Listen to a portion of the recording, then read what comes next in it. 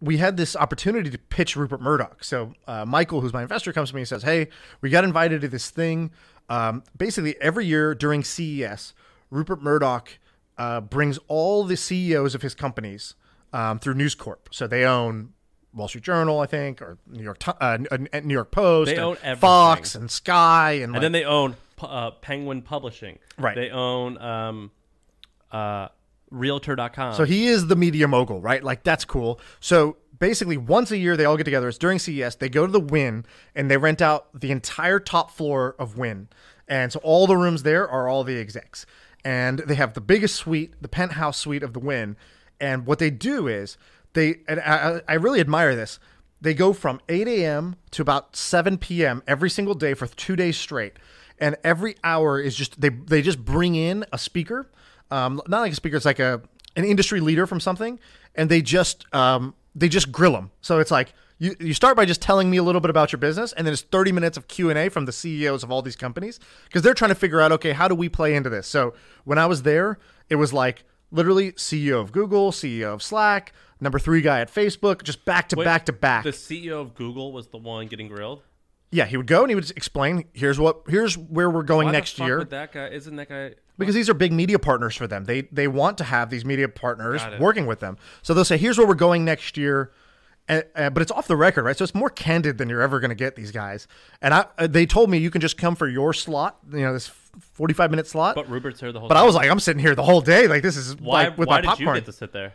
because we were going to present at the end of the day. And so we had access. So I just sat there at 8 a.m. I'm there with my seat. So here's what I noticed.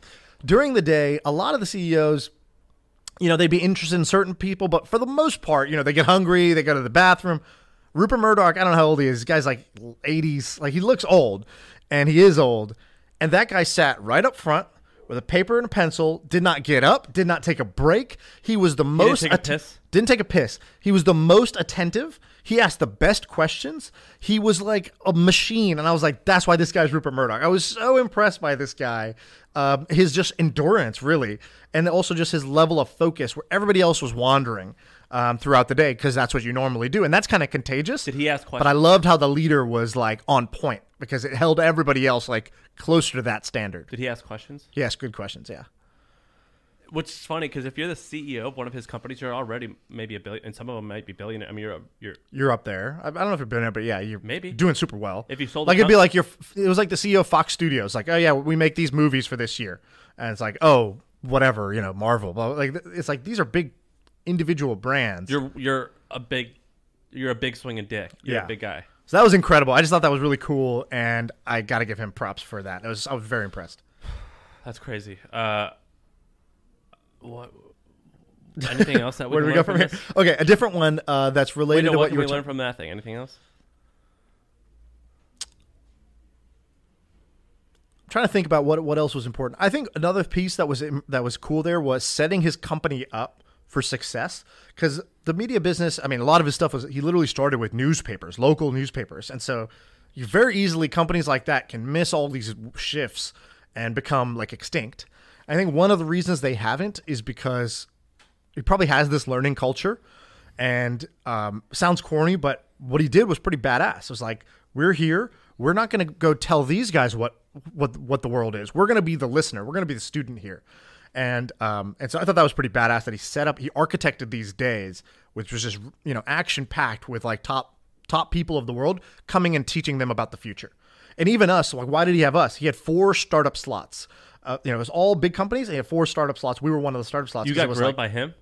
yeah, because it was like, okay, you guys are doing something interesting. Was when we were doing Blab, and he was like, okay, tell us about the future. You're not big yet, but you're growing, and we think you're interesting. And so, um, tell us what you know that the big companies don't know. And they would ask questions, like very good questions, like like that. Like, what is the um, if we're us? One of the questions he asked was, what is uh, what are we stupid for not doing? Like when you look at our business. Uh, what do you look at and you just say you are stupid for not doing this? This is our enterprise version of Trends, Brad. Is having that. Nice. Uh, so, anyways, that's what I learned from the from these guys. I thought it was pretty awesome. God, that's badass. Who are the other three companies? Uh, one was Alfred.